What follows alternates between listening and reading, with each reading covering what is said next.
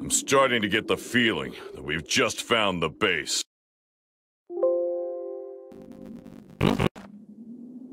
Watch out! Somebody's coming!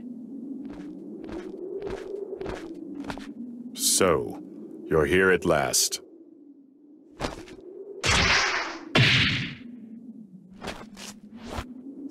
It's you! It's really you! So tell me, do you have your old memories?